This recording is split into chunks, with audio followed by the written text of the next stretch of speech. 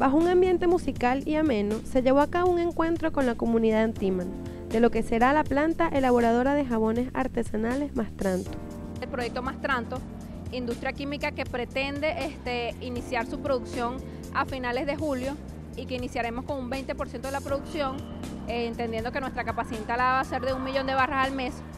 Este proyecto bueno, surge por la necesidad de darle este, solución o ser parte de la producción nacional que busca darle solución a la problemática del desabastecimiento en productos de higiene personal. Hicimos una actividad junto con Aliantec, la Alianza Tecnológica y la comunidad de Antímano en este galpón que fue tomado por la comunidad hace ya varios años donde va a funcionar una fábrica de jabón.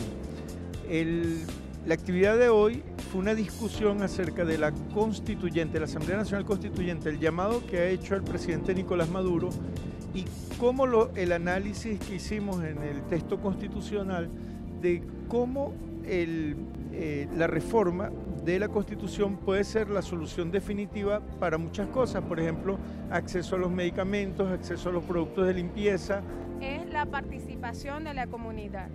la, participación en proyectos, y por lo menos dentro de la comunidad hay este, jóvenes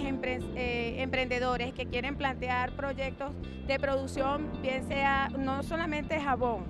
bien sea este, textil, lo que sea. Nosotros estamos para apoyar esa idea de avance para impulsar el crecimiento económico. Finalmente, la actividad concluyó con un sancocho comunal donde habitantes de Antímano compartieron y además debatieron sobre la importancia del actual llamado a constituyente.